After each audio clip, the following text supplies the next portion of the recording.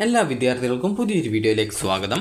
ഈ വർഷത്തെ plus one higher secondary first allotment result ലഭിച്ചിട്ടുള്ള വിദ്യാർത്ഥികളിൽ പലരും ചോദിക്കുന്ന പ്രധാനപ്പെട്ട ഒരു സംശയമാണ് ഇപ്പോൾ നിങ്ങൾ ഒരു സ്കൂളിൽ ടെമ്പററി അഡ്മിഷൻ നേടി. അതായത് ഇപ്പോൾ ഒരു സ്കൂളിൽ അലോട്ട്മെന്റ് കിട്ടി പക്ഷേങ്കിൽ ആ ഒരു കോഴ്സ് ഇഷ്ടമായിട്ടില്ല അല്ലെങ്കിൽ സ്കൂൾ ഇഷ്ടമായിട്ടില്ല അല്ലെങ്കിൽ രണ്ടും ഇഷ്ടമായിട്ടില്ല. അങ്ങനെ നിങ്ങൾ അവിടെ ടെമ്പററി അഡ്മിഷൻ നേടി.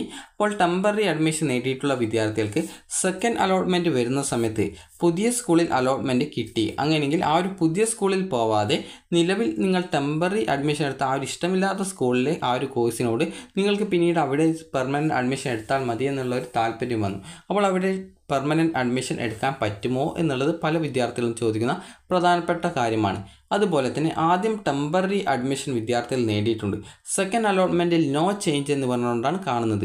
അപ്പോൾ അങ്ങനെയുള്ള വിദ്യാർത്ഥികൾ വീണ്ടും പോയിട്ട് ടെമ്പററി ആ ഒരു സ്കൂളിൽ തന്നെ വീണ്ടും എടുക്കേണ്ടതുണ്ടോ? അല്ലെങ്കിൽ പെർമനന്റ് ആയിട്ടാണോ അഡ്മിഷൻ നേടേണ്ടത് എന്നുള്ളത് പല വിദ്യാർത്ഥികളും ചോദിച്ചിട്ടുണ്ടായിരുന്നു. അതുപോലെ തന്നെ വിദ്യാർത്ഥികൾക്ക് ഈ ഒരു സെക്കൻഡ് അലോട്ട്മെന്റിൽ മറ്റൊരു സ്കൂളും കിട്ടിയിട്ടില്ല എങ്കിൽ ആ ഒരു ആദ്യം കിട്ടിയ സ്കൂളിൽ ടെമ്പററി അഡ്മിഷൻ എടുത്ത സ്കൂളിൽ പെർമനന്റ് അഡ്മിഷൻ എടുക്കാൻ സാധിക്കുമോ എന്നുള്ളതും വിദ്യാർത്ഥികൾ ചോദിച്ചിട്ടുണ്ടായിരുന്നു. അപ്പോൾ ആ ഒരു എല്ലാവിധ സംശയങ്ങൾക്കുള്ള ഉത്തരങ്ങളും നിങ്ങൾക്ക് ഈ ഒരു വീഡിയോ വഴി മനസ്സിലാക്കാൻ സാധിക്കും. അപ്പോൾ നമുക്ക് വീഡിയോയിലേക്ക് കടക്കാം. അപ്പോൾ ആദ്യം തന്നെ ഉള്ള ഒരു ആ ഒരു കാര്യം എന്ന് പറയുന്നത് നിങ്ങൾക്ക് ഒരു സ്കൂളിൽ ഇപ്പോൾ ഫസ്റ്റ് നിങ്ങൾക്ക് ഒരു സ്കൂളിൽ കിട്ടിയിട്ടുണ്ട്. അപ്പോൾ എട്ടാമത്തെ ഓപ്ഷനാണ് നിങ്ങൾക്ക് അലോട്ട്മെന്റ് ആയിട്ട് കിട്ടിയിട്ടുള്ളത് എന്ന് കരുതുക. അതായത് നിങ്ങളിപ്പോൾ പത്ത് ഓപ്ഷൻസ് നൽകിയിട്ടുണ്ട് എന്ന് കരുതുക. അപ്പോൾ പത്ത് ഓപ്ഷൻസ് നമുക്ക് നോക്കാം. അപ്പോൾ പത്ത് ഓപ്ഷൻസ് നൽകിയിട്ടുണ്ട്. അപ്പോൾ നിങ്ങൾക്ക് പത്ത് ഓപ്ഷൻസിൽ നിങ്ങൾക്ക് എട്ടാമത്തെ ഓപ്ഷനാണ് നിലവിൽ ഇപ്പോൾ അലോട്ട്മെന്റ് ലഭിച്ചിട്ടുള്ളത്. അപ്പോൾ അങ്ങനെ അലോട്ട്മെന്റ് ലഭിച്ചപ്പോൾ ഇതിന് ഒൻപത് പത്ത് ഓപ്ഷൻസ് ഓട്ടോമാറ്റിക്കലി ഡിലീറ്റ് ആയി പോകും. അപ്പോൾ അതിനുശേഷം ബാക്കിയുള്ളത് ഒന്ന് മുതൽ എ വരെയുള്ള ഓപ്ഷൻസ് ആണ്. അപ്പോൾ നിങ്ങൾക്ക് അടുത്ത സെക്കൻഡ് അലോട്ട്മെന്റ് വരുന്ന സമയത്ത് എവിടെയും നിങ്ങൾക്ക് അലോട്ട്മെന്റ് കിട്ടിയിട്ടില്ല എന്ന് കരുതുക. അതായത് ഈ ഒരു എട്ടാമത്തെ ഓപ്ഷനിൽ തന്നെയാണ് ആ ഒരു ടെമ്പററി അഡ്മിഷനിൽ തന്നെയാണ് അവിടെയുള്ളത്. നിങ്ങൾക്ക് ഒന്ന് മുതൽ എ വരെയുള്ള ഓപ്ഷൻസിൽ എവിടെയും നിങ്ങൾക്ക് അലോട്ട്മെന്റ് കിട്ടിയിട്ടില്ല എന്ന് വിചാരിക്കുക. അപ്പോൾ അലോട്ട്മെന്റ് കിട്ടിയിട്ടില്ലെങ്കിൽ നിങ്ങൾക്ക് ഒന്നുകിൽ ഈ ഒരു എട്ടാമത്തെ ഓപ്ഷൻ കിട്ടിയ സ്കൂളിൽ ടെമ്പററി അഡ്മിഷൻ ആയിട്ട് തന്നെ തുടരാം അതായത് വീണ്ടും പോയിട്ട് അഡ്മിഷൻ എടുക്കേണ്ടതില്ല. കാരണം ഓൾറെഡി അവിടെ ടെമ്പററി അഡ്മിഷനാണ് അതുപോലെ തന്നെ തേർഡ് അലോട്ട്മെന്റ് ഉള്ളത് കൊണ്ട് തന്നെ നിങ്ങൾക്ക് അവിടെ ടെമ്പററി ആയിട്ട് തന്നെ അഡ്മിഷനിൽ തുടരാൻ സാധിക്കും. അതുപോലെ തന്നെ നിങ്ങൾക്ക് വേണമെങ്കിൽ അതായത് നിങ്ങൾക്കിപ്പോൾ ഈ ഒരു സെക്കൻഡ് അലോട്ട്മെന്റ് വന്നപ്പോൾ നിങ്ങൾ വിചാരിച്ചു എന്നാൽ ആ ഒരു എട്ടാമത്തെ ഓപ്ഷൻ കിട്ടിയ സ്കൂളിൽ പെർമനന്റ് ആയിട്ട് അങ്ങ് അഡ്മിഷൻ എടുത്തേക്കാമെന്ന് കരുതി. അപ്പോൾ അങ്ങനെയെങ്കിൽ നിങ്ങൾക്ക് വേണമെങ്കിൽ പോയിട്ട് പെർമനന്റ് അഡ്മിഷനും എടുക്കാൻ സാധിക്കുന്നതാണ്. അതായത് ഒരു വിദ്യാർത്ഥിക്ക് ഇപ്പോൾ ലഭിച്ച സ്കൂളിൽ ടെമ്പററി അഡ്മിഷനിൽ തുടരുകയും അടുത്ത സെക്കൻഡ് അലോട്ട്മെന്റിൽ മറ്റൊരു കോഴ്സിലേക്ക് അലോട്ട്മെന്റ് കിട്ടാതെ വരുന്ന സമയത്ത് അതേ സ്കൂളിൽ തന്നെ ടെമ്പററി ആയിട്ട് അവിടെ തുടരുന്നതിനും അതുപോലെ തന്നെ പിന്നീട് ആവശ്യമെങ്കിൽ നിങ്ങൾക്ക് പെർമനന്റ് അഡ്മിഷനും നേടാൻ സാധിക്കും. അപ്പോൾ ഇക്കാര്യം വിദ്യാർത്ഥികൾക്ക് മനസ്സിലായിട്ടുണ്ടാകുമെന്ന് കരുതുന്നു. അപ്പോൾ ഇനി നമുക്ക് അടുത്ത ആ ഒരു സംശയത്തിലേക്ക് ആദ്യം പറഞ്ഞ ആ ഒരു സംശയത്തിലേക്ക് പോകാം. അപ്പോൾ നിങ്ങൾക്ക് ഇപ്പോൾ ഫസ്റ്റ് അലോട്ട്മെന്റിൽ എട്ടാമത്തെ ഓപ്ഷനാണ് കിട്ടിയത്. ഇനി അടുത്ത സെക്കൻഡ് അലോട്ട്മെന്റിൽ നിങ്ങൾക്ക് ലഭിച്ചത് അഞ്ചാമത്തെ ഓപ്ഷനിലേക്കാണ് അലോട്ട്മെന്റ് കിട്ടിയത് എന്ന് കരുതുക. അപ്പോൾ എന്താണ് സംഭവിക്കുന്നത്? ഈ ഒരു എട്ടാമത്തെ ഓപ്ഷനിൽ നിന്നുള്ള നിങ്ങളുടെ അഡ്മിഷൻ അഞ്ചാമത്തെ സ്കൂളിലേക്ക് ട്രാൻസ്ഫർ ചെയ്യും. അതായത് അഞ്ചാമത്തെ ഓപ്ഷനിൽ ഏതാ ഏത് സ്കൂൾ ഏത് കോഴ്സിലാണോ അതിലേക്ക് ട്രാൻസ്ഫർ ചെയ്യുന്നതാണ്. അപ്പോൾ നിങ്ങൾക്ക് ആദ്യം ലഭിച്ച ആദ്യത്തെ എട്ടാമത്തെ ഓപ്ഷൻ ഓട്ടോമാറ്റിക്കലി ഡിലീറ്റ് ചെയ്യപ്പെടും. അതുപോലെ ഇത് ഈ അഞ്ചാമത്തെ ഓപ്ഷന് താഴെയുള്ള ബാക്കി ഓപ്ഷൻസും ഡിലീറ്റ് ചെയ്യപ്പെടും.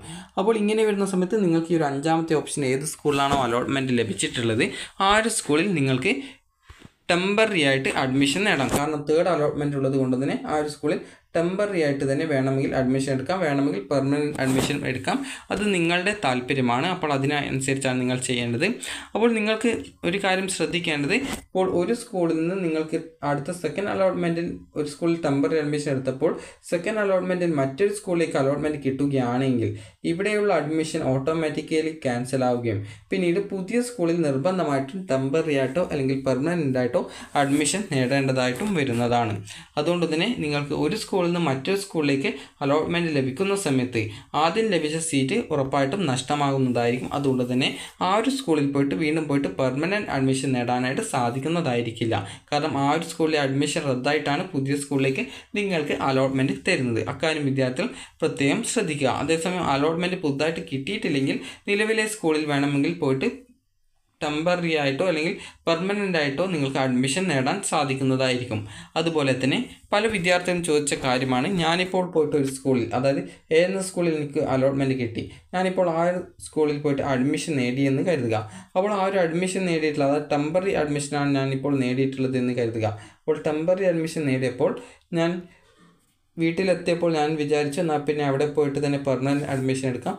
ആ ഒരു കോഴ്സ് തന്നെ മതി. ആ ഒരു സ്കൂൾ തന്നെ എനിക്ക് മതി. അപ്പോൾ അങ്ങനെയെങ്കിൽ നിങ്ങൾക്ക് നാളെ വൈകിട്ട് നാല് മണിക്ക് മുൻപായിട്ട് പോയിട്ട് ആ ഒരു അഡ്മിഷൻ പെർമനന്റ് അഡ്മിഷനായിട്ട് ഫീസൊക്കെ അടിച്ച് നിങ്ങൾക്ക് പെർമനന്റ് അഡ്മിഷൻ നേടാവുന്നതാണ്.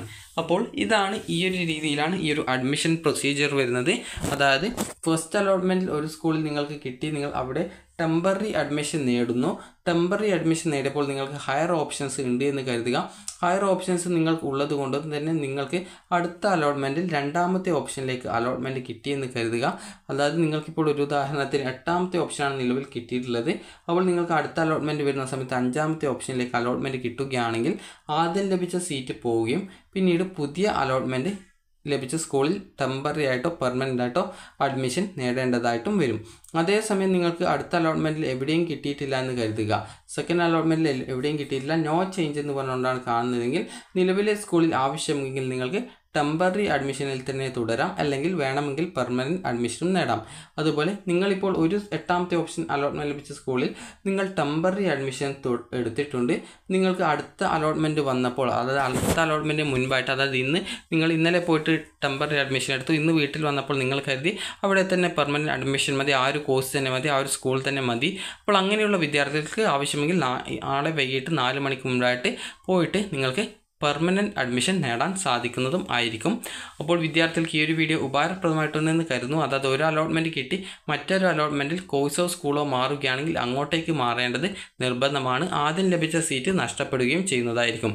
അപ്പോൾ വിദ്യാർത്ഥികൾക്ക് ഈ ഒരു വീഡിയോ ഉപകാരപ്രദമായിട്ടുണ്ടെങ്കിൽ ലൈക്ക് ചെയ്യുക ഷെയർ ചെയ്യുക. അതുപോലെ വീഡിയോ സംബന്ധിച്ച് എന്തെങ്കിലും സംശയമുണ്ടെങ്കിൽ താഴെ കമന്റ് ചെയ്യുക. Thank for watching